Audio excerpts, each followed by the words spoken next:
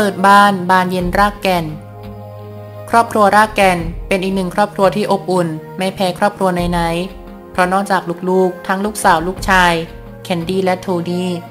จะหน้าตาดีและเข้าสู่วงการบันเทิงตามรอยคุณแม่บานเย็นแล้ว ลูกๆบ้านนี้ยังเป็นเด็กดี ล่าสุดลูกสาวคนสวย แคนดี้ราแกนทำหน้าที่ลูกที่ดี แสดงความกตัญญูกับแม่ โดยการซื้อบ้านที่อยู่มาให้แม่ได้แล้ว บ้านที่เราอยู่ด้วยกัน วันนี้หนูเอามันมาเป็นของเราได้แล้วนะคะแม่ ขอบคุณในทุกๆอย่าง ต่อไปเราก็ไม่ต้องเหนื่อยตากตามแล้วนะคะแม่ ใช้ชีวิตใช้เวลาที่เหลืออยู่อยู่ด้วยกัน ให้มีความสุขที่สุดนะแม่นะ หนูได้กลับมาอยู่กับแม่จริงจังครั้งแรก ตอนหนูจบไฮสคูลจากออสชีวิตที่เปลี่ยนพันกับการตัดสินใจตามคำขอที่บอกว่า แม่ส่งลูกเรียนได้แค่คนเดียว เพราะช่วงนั้นแม่ไม่ได้รับงานเยอะ ต้องมีคนกลับไปอยู่อเมริกากับแม่ นาทีชีวิต ที่คิดแค่อยากให้โทนี่ได้เรียน ส่วนตัวเราต้องไปอยู่กับแม่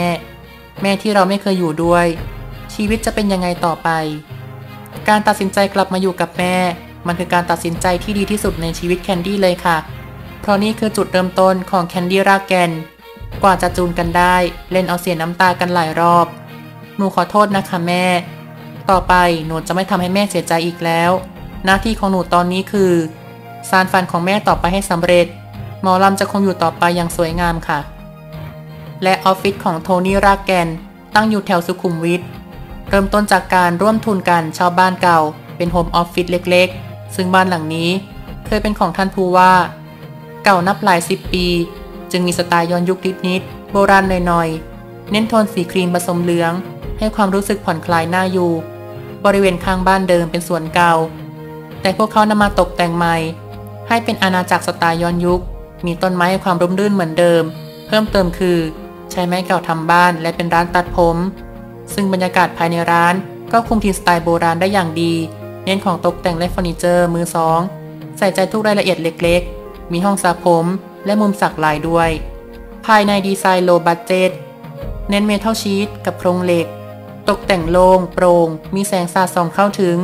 ส่วนการออกแบบมีแนวคิดมาจาก ศีล สมาธิ และปัญญา สอดคล้องกับโลโก้แบรนด์ และรูปทรงของออฟฟิศที่เป็นสามเหลี่ยม มีมุมศีลเป็นฝั่งสีขาว มุมสมาธิเป็นที่พักผ่อนหรือห้องนอน และมุมปัญญาเป็นห้องหนังสือทว่า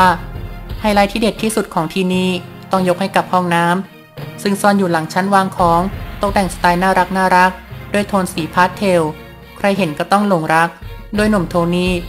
นำเอาของค้างสต็อกจากร้านขายของแถวนั้นมาเติมสีสันเข้าไป จึงดูสวยงามสดใส จนเลือกสีใดสีหนึ่งไม่ได้เลย ก็เลยตัดสินใจตกแต่งรวมกันไว้ในห้องนี้ซะเลย สวย เก๋ มีสไตล์เรียกพี่